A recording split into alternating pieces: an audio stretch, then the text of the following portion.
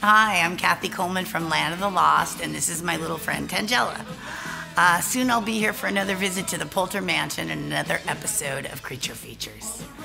We'll be watching Prisoners of the Lost Universe. It doesn't have Grumpy the Tyrannosaurus or any Sleestak, but it does star Richard Hatch and John Saxon. And it looks like a movie they'd show on Saturday morning, and we're sure you're gonna like it. Why, yes, Tangella. I do believe the Sleestak are allergic to dynamite. In any case, don't miss the episode because Tangella won't be very happy if you do. See you soon.